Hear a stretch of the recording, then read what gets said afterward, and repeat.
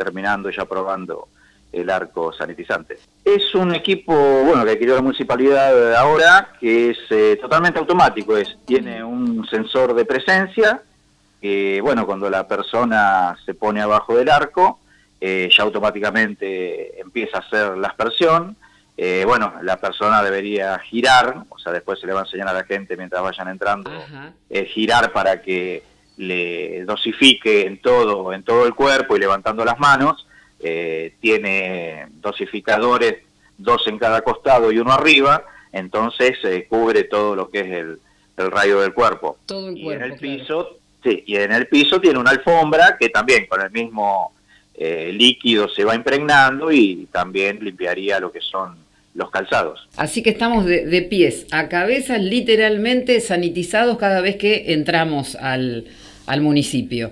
Sí, sí, sí, exactamente. Cada vez que entran, bueno, y si salen también, quieren hacerlo cuando salen, está trabaja de la misma forma, trabaja en cualquiera de los dos sentidos. Está bien. Así que la gente cuando sale y quiere también pasar, eh, no tendría problema en hacerlo.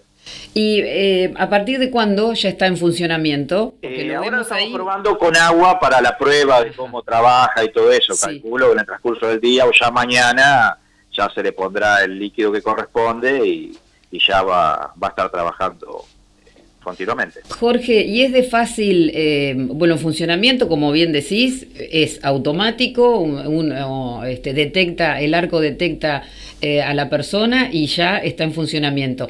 Y para ponerlo en funcionamiento, para poner el líquido y todo eso, ¿han tenido que capacitarte, capacitarte o es algo simple? No, no, es relativamente simple. Es un aparato relativamente simple eh, que lleva un bidón con una bombita que se llama sumergible, que chupa en el mismo bidón.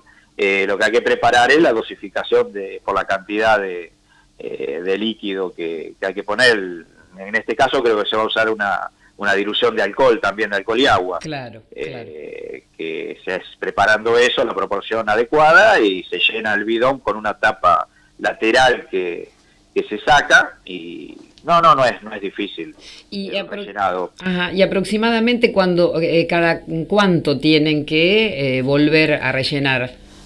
Y mira, este exactamente no lo sé, pero por lo que estuve yo averiguando en internet, que estuve chusmeando, eh, dura, dura mucho, dura como 100 a 200 dosificaciones por bidón debe debe durar o más quizás. Ah, Exactamente, este modelo, como no, no me contacté yo con el proveedor directamente, no, no tengo esa información precisa, pero más de 100 dosificaciones seguro.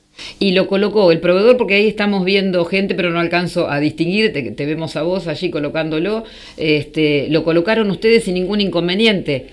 No, sí, sí, nosotros mismos, nosotros pusimos, eh, o sea, en sí un, compañero y yo los armamos eh, tiene un manualcito, no es relativamente complicado, pero obvio, hay que tener un poco de idea, no es claro, cualquiera. Claro, además no es solamente colocarlo, tenés que garantizar que funcione, obviamente. No, no, obvio, hay que conectar mangueras, hay que conectar cables, de donde está la bomba, eh, tiene sus cositas que hay que tener una mínima capacitación para, para hacerlo, pero no, no, nosotros lo hicimos, lo hicimos sin problema. Y, y, muy rápido además, ¿no? Porque a la mañana temprano y ya ahora está colocado.